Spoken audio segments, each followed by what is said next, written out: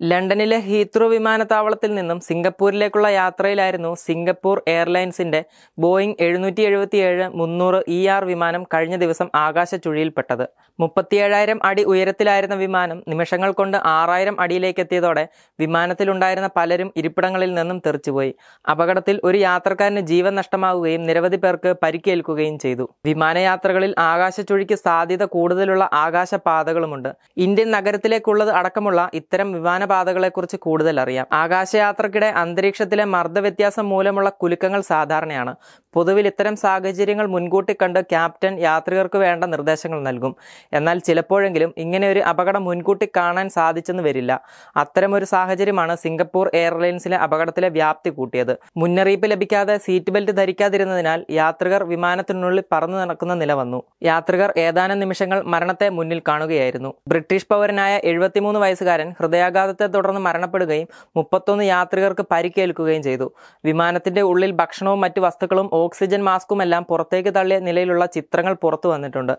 തായ്ലാന്റിന് മുകളിൽ വെച്ചുണ്ടായ അപകടത്തെ തുടർന്ന് വിമാനം ബാങ്കോക്ക് വിമാനത്താവളത്തിൽ നിന്ന് അടിയന്തരമായി നിലത്തിറക്കുകയും ചെയ്തു. ആകാശച്ചുഴിക്ക് സാധ്യതയുള്ള വിമാനപാതകൾ പലതുണ്ട്. ഇതിൽ ഏറ്റവും അപകടം ചിലിയിലെ സാന്റിയാഗോ മുതൽ ബൊളീവിയയിലെ സാൻ ക്രൂസ് വരെയുള്ള ആകാശപാതയാണ്. ആകാശത്തുള്ള വ്യത്യസ്ത വേഗതയിലുള്ള വായു പ്രവാഹങ്ങൾ പരസ്പരം കൂട്ടിയിടിക്കുന്ന പ്രദേശത്തുകൂടെ കടന്നു പോകുമ്പോഴാണ് ആകാശ ചുഴി സംഭവിക്കുന്നത്.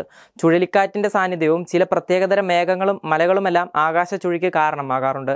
സാന്റിയാഗോ സാന്റാക്രൂസ് പാതയിലെ ആകാശ ചുഴിക്ക് പിന്നിൽ പസഫിക് സമുദ്രത്തിൽ നിന്നും അറ്റ്ലാന്റിക് സമുദ്രത്തിലേക്ക് വീശുന്ന കാറ്റുകളാണ്. ആൻഡസ് പർവതനിരയ്ക്ക് ലംബദിശയിലാണ് ഈ കാറ്റ് വീശുന്നതെന്നതും അപകട സാധ്യത വർദ്ധിപ്പിക്കുന്നു ഭൂമധ്യരേഖയോട് ചേർന്നുള്ള പ്രദേശങ്ങളും ആകാശച്ചുഴിക്ക് സാധ്യതയുള്ളവയാണ്. ഇവിടങ്ങളിൽ കണ്ടുവരുന്ന ശക്തമായ മുകളിലേക്കുള്ള വാതക പ്രവാഹങ്ങളും മിന്നലുകളും ആകാശച്ചുഴിക്ക് കാരണമാകാറുണ്ട്. പർവതങ്ങൾ കാരണമാണ് ജപ്പാനിലേക്കുള്ള യാത്രകൾ ആകാശച്ചുഴികൾ നിറഞ്ഞതാവുന്നത്. ലോകത്തെ ഏറ്റവും അപകടം പിടിച്ച ആകാശച്ചുഴി നിറഞ്ഞ പാതകളിൽ മുന്നിൽ ടോക്കിയോ ഉണ്ട് ഏറ്റവും കൂടിയ ആകാശച്ചുഴി സാധ്യതയുള്ള ദീർഘദൂര വിമാനപാതകളിൽ ആദ്യത്തെ മൂന്നെണ്ണം Tokyo Kathmandu Tokyo New Delhi Tokyo Dhaka എന്നിവയാണ്. ടോക്കിയോയിലേക്കുള്ള യാത്രയിൽ മാത്രമാണ് ഈ അപകട സാധ്യതാ പട്ടികയിൽ ഇന്ത്യൻ നഗരത്തിന്റെ സാന്നിധ്യമുള്ളത്. ആകാശച്ചുഴി കൂടുതലുള്ള വിമാന റൂട്ടുകളിൽ ഏഷ്യയിൽ നിന്നുള്ള വിമാനപാതകളും മുന്നിലുണ്ട്. ഖസാക്കിസ്ഥാനിലെ അൽമാട്ടി കിർഗിസ്ഥാനിലെ ബിഷ്കേക്ക് ചൈനയിലെ ലാൻസൗ ചൈനയിലെ ചെങ്കടു ജപ്പാനിലെ സെൻട്രയർ ജപ്പാനിലെ സെൻഡായി എന്നീ ഏഷ്യൻ വിമാനപാതകളിലാണ് ആകാശച്ചുഴി അപകട സാധ്യത കൂടുതൽ.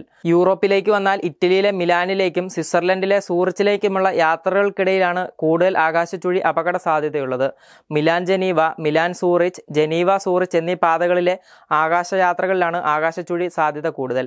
വടക്കേ അമേരിക്കയിലേക്ക് വന്നാൽ Nashville Durham Charlotte Pittsburgh Denver മെക്സ് മെക്സിക്കോയിലെ പ്യൂവെറ്റോ വല്ലാറ്റ എന്നീ വിമാന റൂട്ടുകളിലാണ് ആകാശച്ചുഴി അപകട സാധ്യത കൂടുതലുള്ളത്.